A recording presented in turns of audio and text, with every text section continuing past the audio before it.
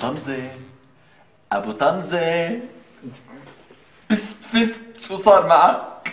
لساته حاقد علي لأني طلعت أمه. إيه تعال تعال لا تنطمز انطمز أبو طمزة تعال تعال حبيبي. تعال يا قطة تعال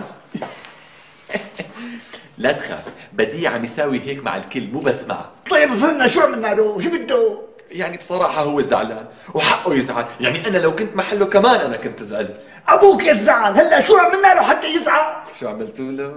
واحدكم رح يخبط خبطة ملير من وراها وعم تجيبوا له هدايا شيء ماشي وشيء صبابيط. إيه عيب يعني المثل بيقول نيال من نفع واستنفع وطعم التسعة لحتى تاخذ العشرة. بقى أنت شو جايب له؟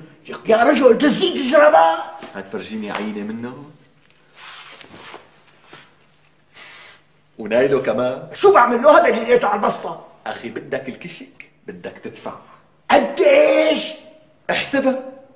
الكشك بالمدرسة والمدرسة فيها ألف طالب وحساب نص الألف اشتروا من عندك كل يوم وسطيا واحدهم بعشر ليرات. قديش بيطلع لك؟